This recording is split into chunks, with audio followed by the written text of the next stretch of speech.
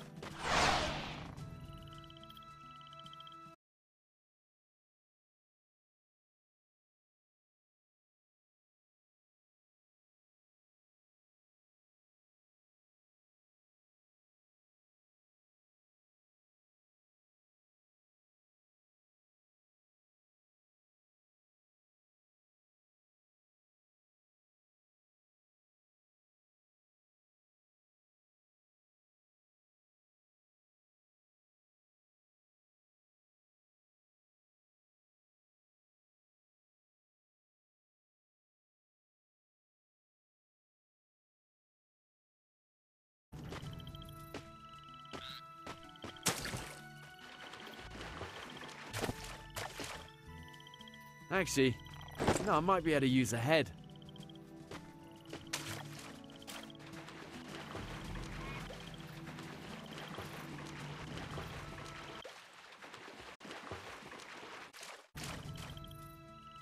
Need to make my way up this fallen log to see where I am.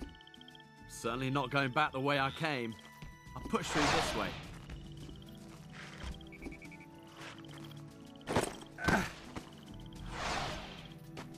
My bearings to see which direction I should travel. Now I'll need to get a fire going if I want to cook this catfish. Some saltwater fish are poisonous, but freshwater fish are all edible. They're a good source of protein, vitamins, and fats.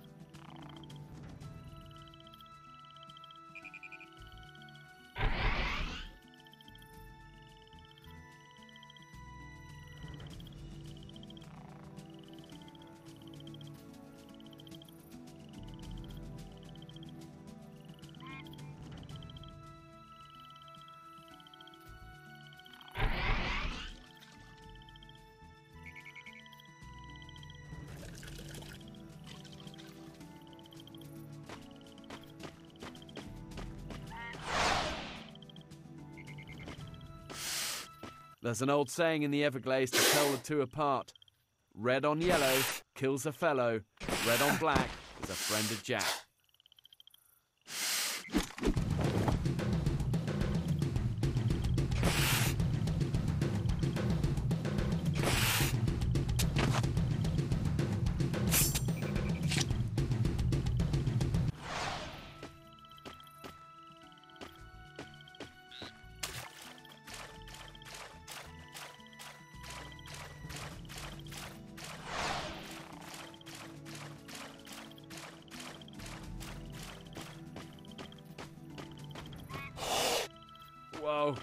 Snake. Gotta be.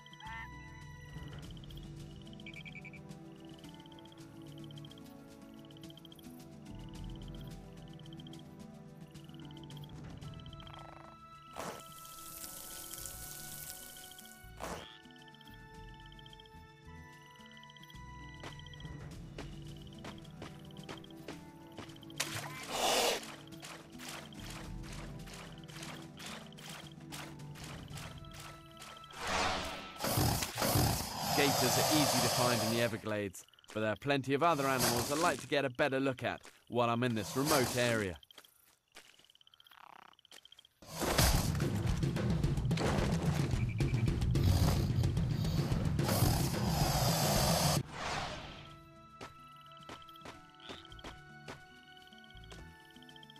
This tree will do, but I need to use my shoelaces to climb up it.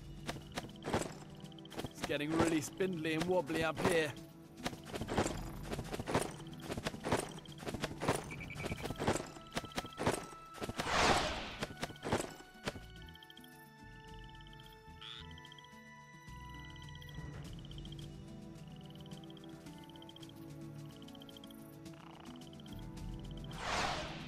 Let's get moving.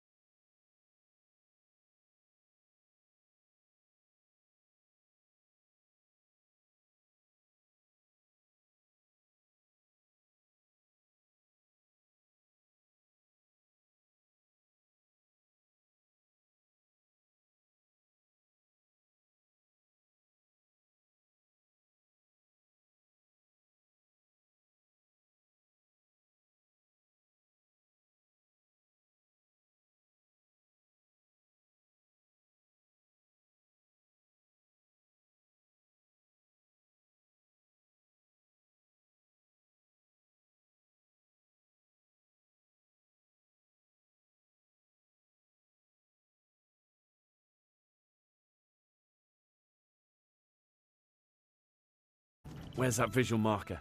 Ah, got it.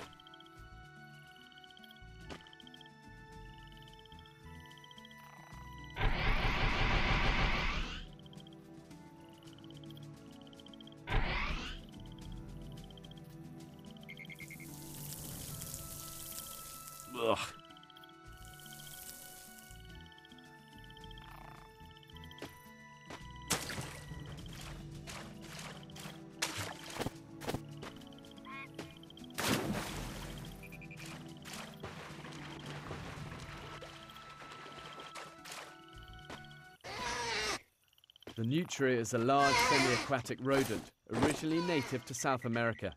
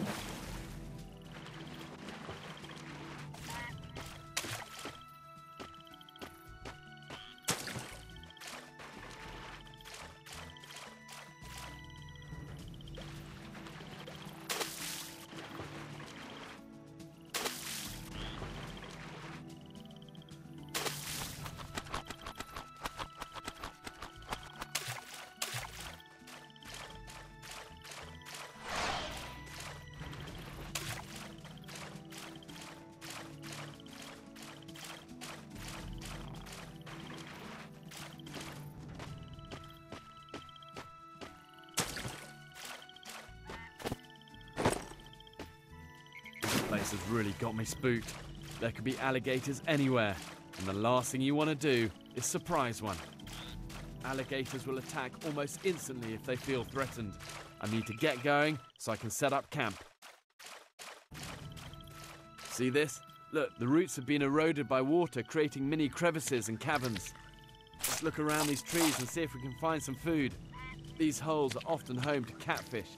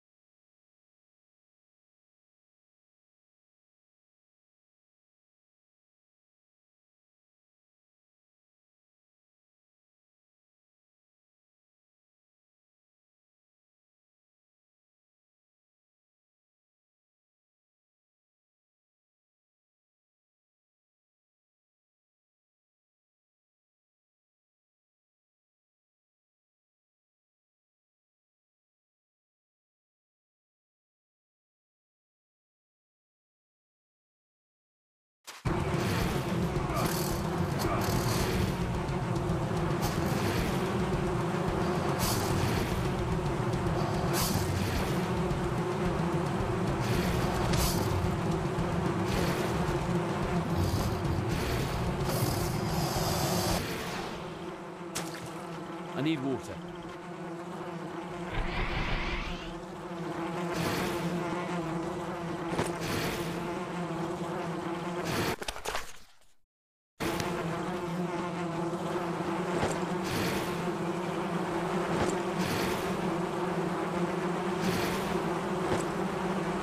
Excellent. Got everything we need to start a fire. We go back to where we started and build it there.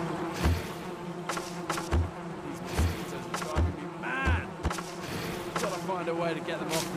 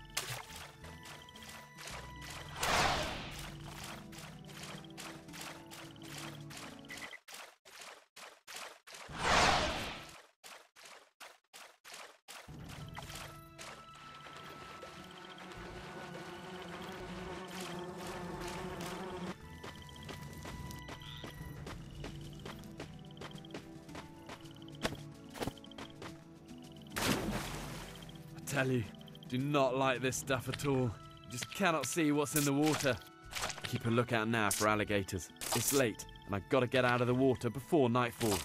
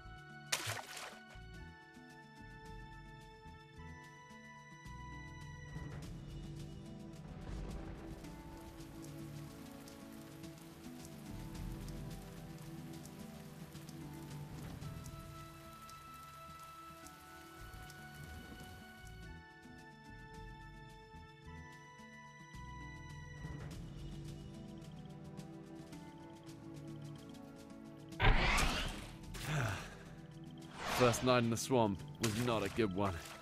That storm came in and really shook things up, but luckily the shelter held up. Time to get a move on. But first, I need water.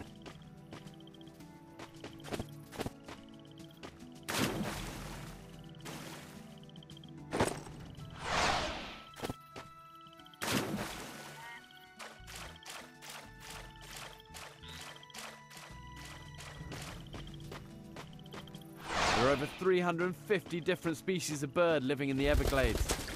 Wonder how many of them I'm going to see while I'm here. This sawgrass is razor sharp. Sawgrass holds in the humidity, so it can feel up to 20 degrees hotter than it actually is. Gotta get out of here quickly.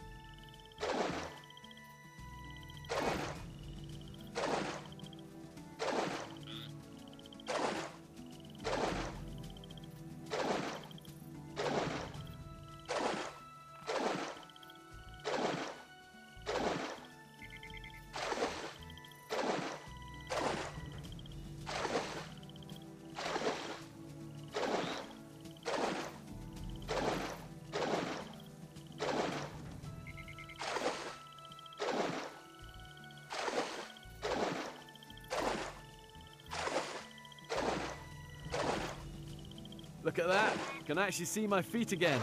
It's a relief to be on dry ground.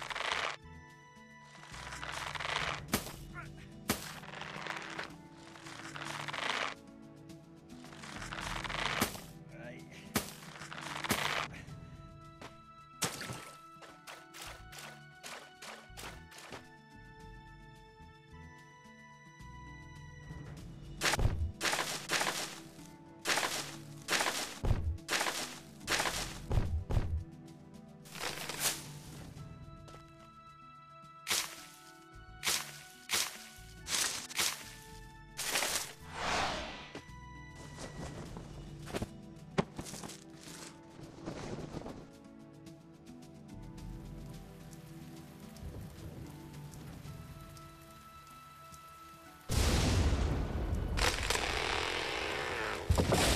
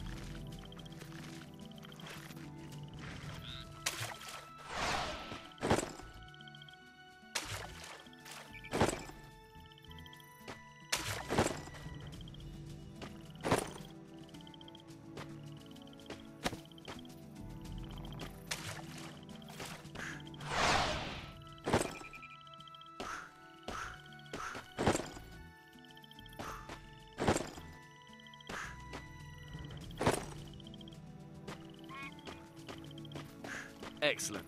We've got everything we need to start a fire. We can go back to where we started and build it there.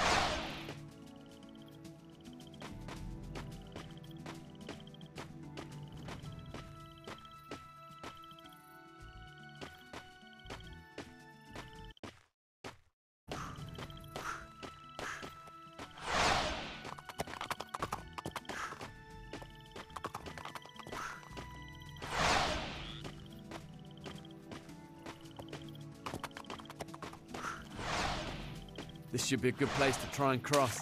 This is as narrow as the river is going to get, whilst also providing me good visibility all the way round.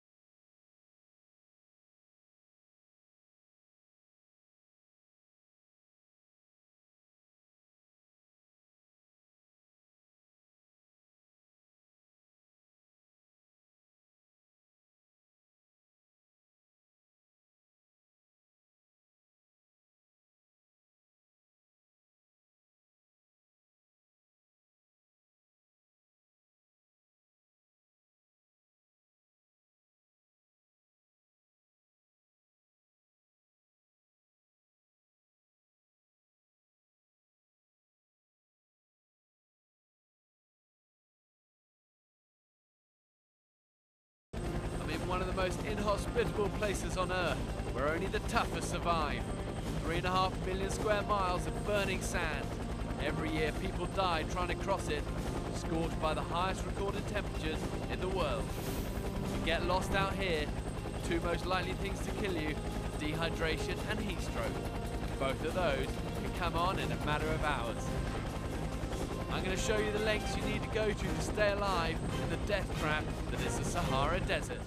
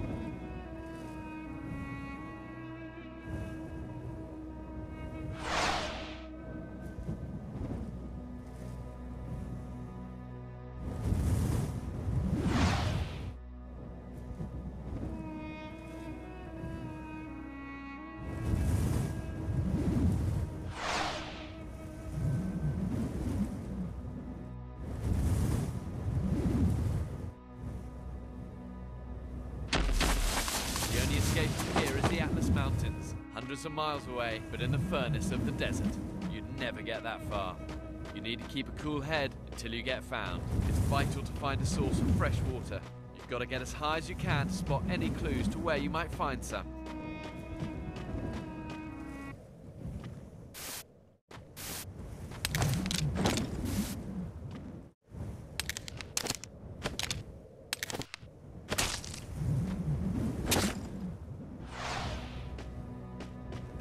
Camel spider.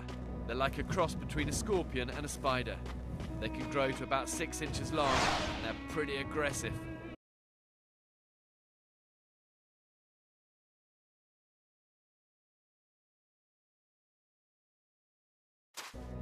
They can move fast, about 10 miles an hour, and I'm not particularly looking forward to eating this one, but it's going to be good protein and good energy. And out here, that can make all the difference.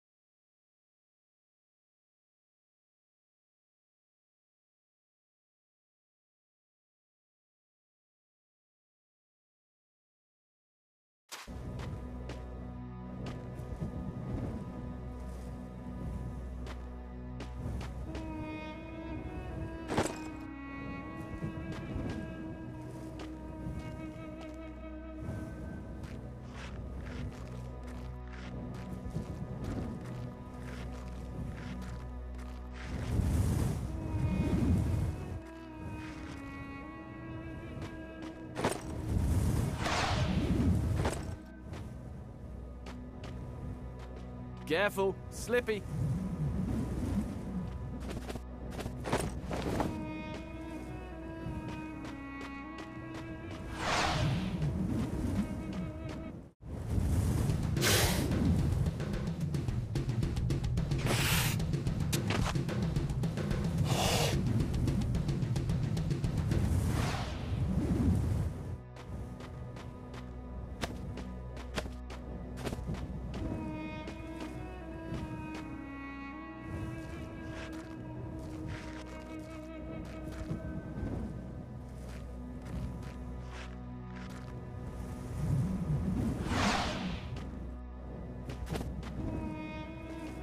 Full step, and I'm done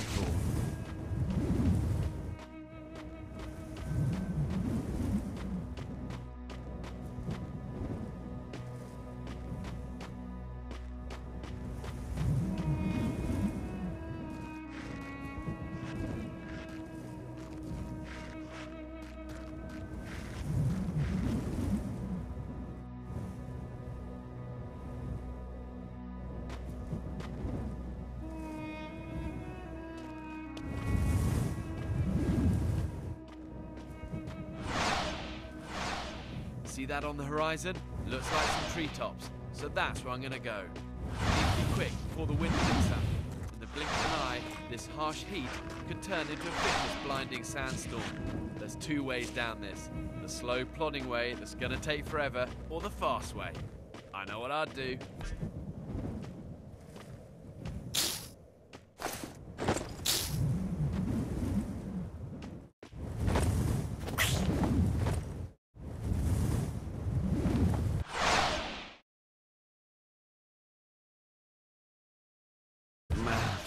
Thirsty.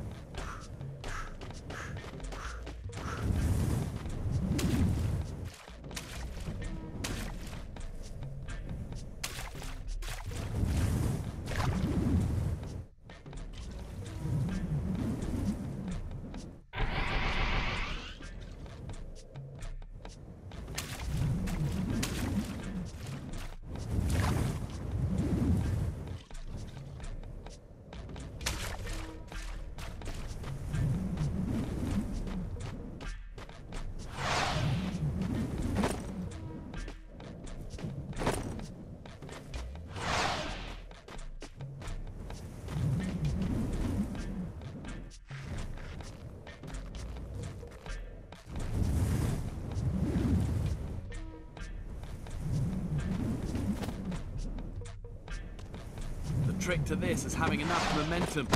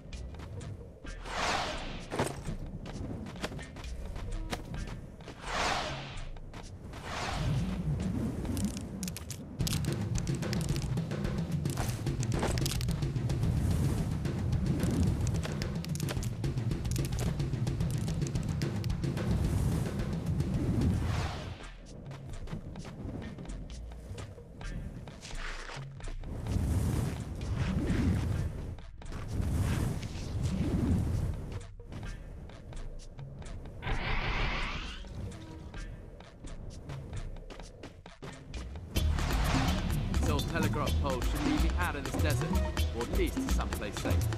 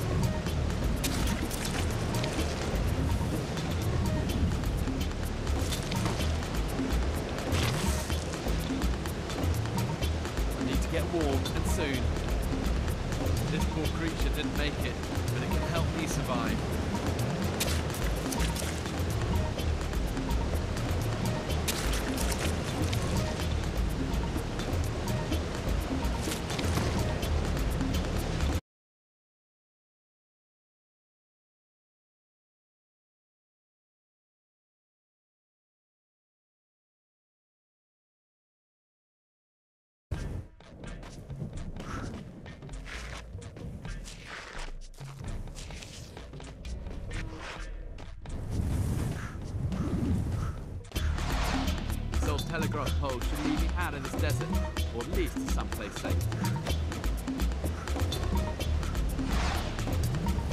The sandstorm is picking up.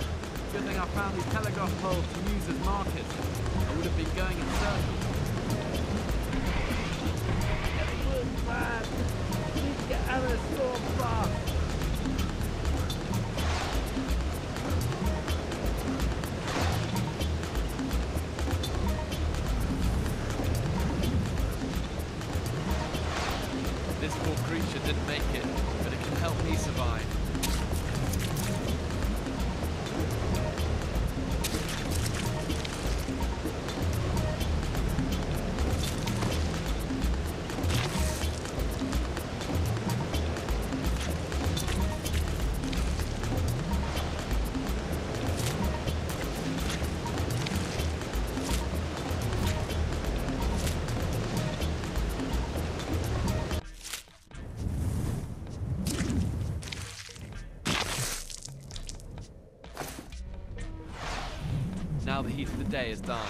This is a much better time to be travelling through the desert.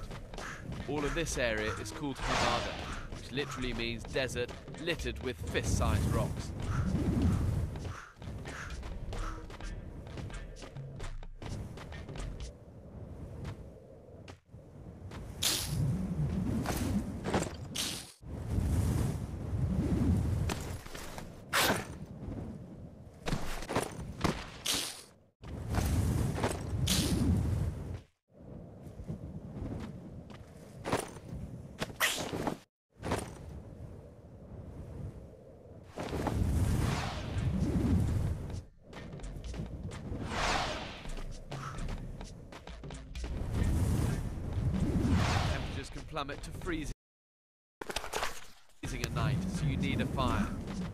Shortage of dry wood, and it's worth trying to start a friction fire.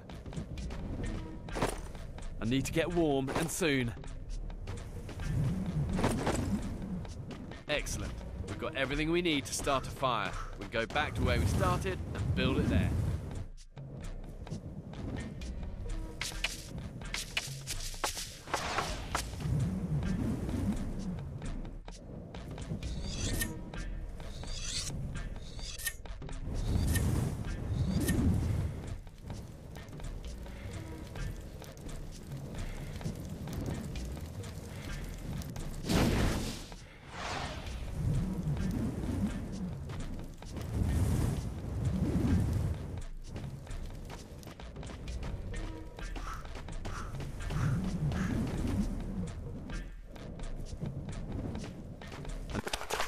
Get warm and soon.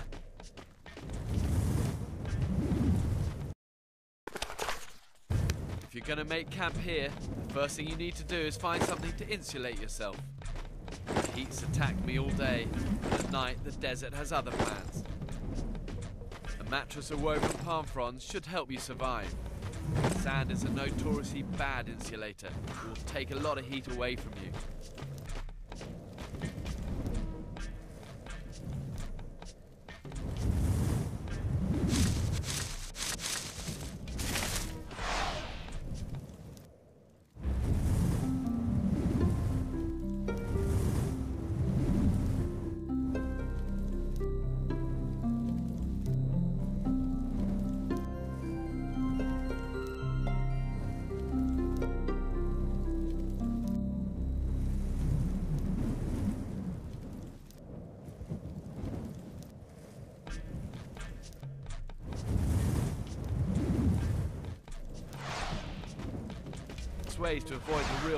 Heat of the day is to get up and get moving before the sun gets too strong. Out here, the temperature can hit 125 degrees by 9 in the morning.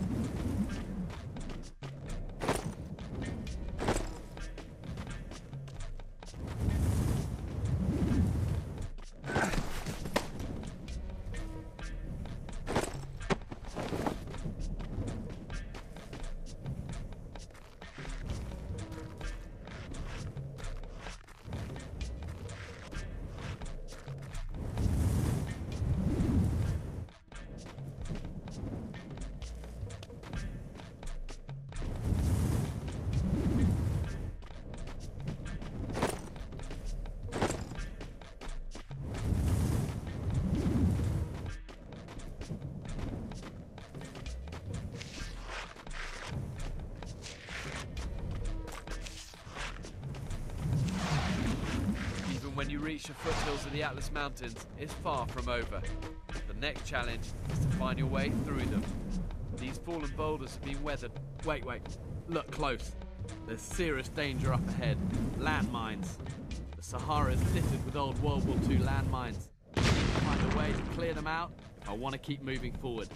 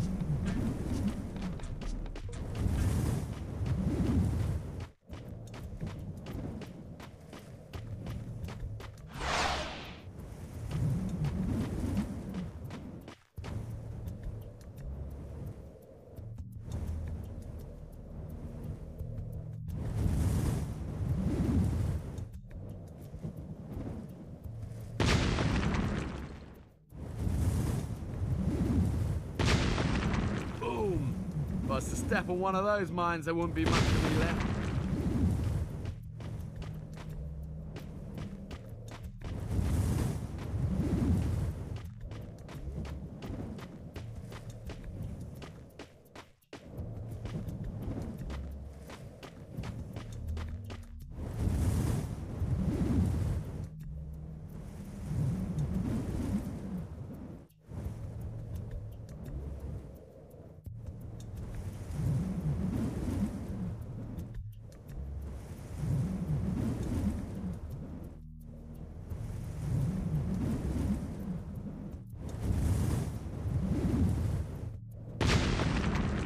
Amazing. Sand goes right up.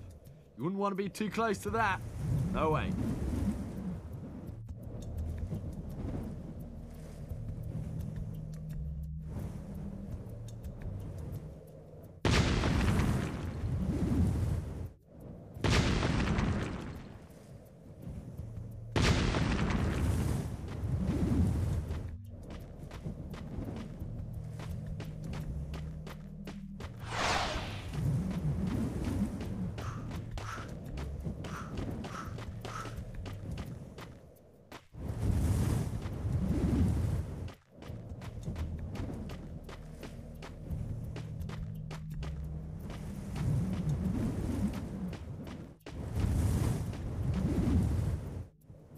Is dangerous. Need to go careful.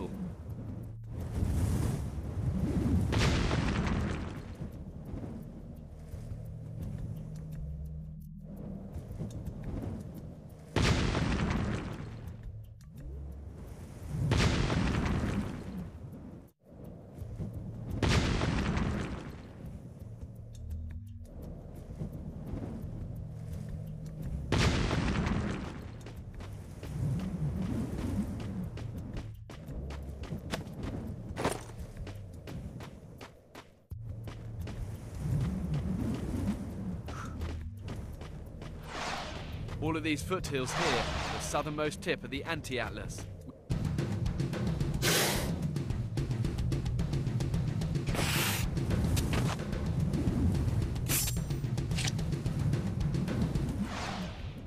Whoa, watch out there. Of the four kinds of snakes in the Sahara, the Egyptian cobra is one of the most dangerous. These guys move so fast, and they kill almost 100 people a year. If you come across an Egyptian cobra, safest thing to do, back off slowly and never corner it. Give it room to make a getaway.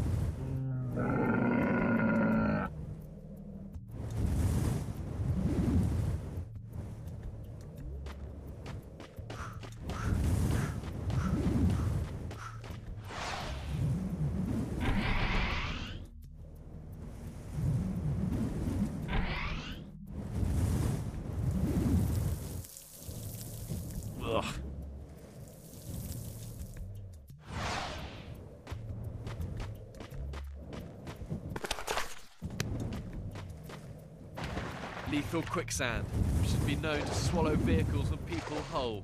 And what's nasty about this stuff is not that they swallow you, it's because they just don't let you out. And the killer is the sun.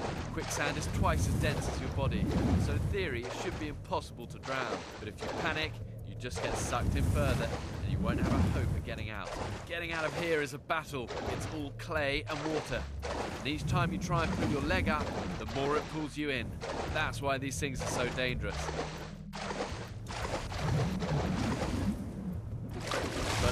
Do is get these muddy clothes off. If you try walking far like this, you're just gonna get massive rubbing all the way under your armpits and inside your legs.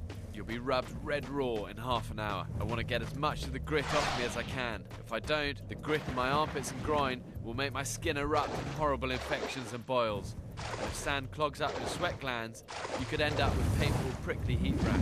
Don't give yourself any more trouble than you need.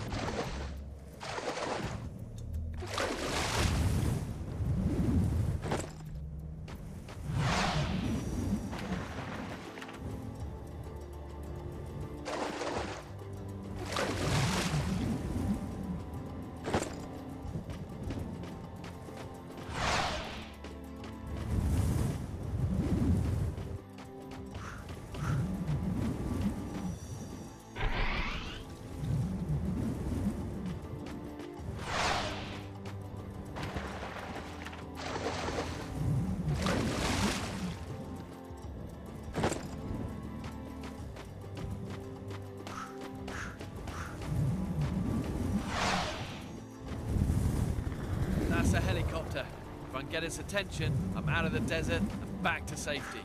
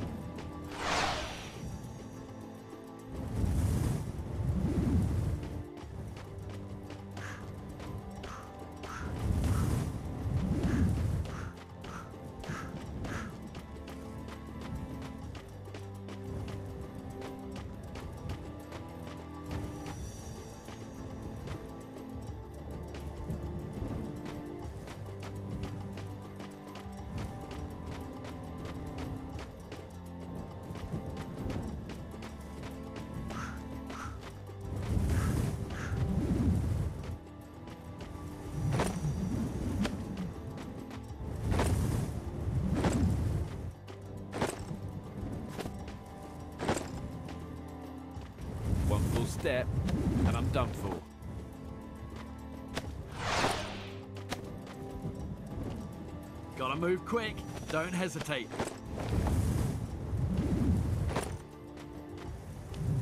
One full step, and I'm done for.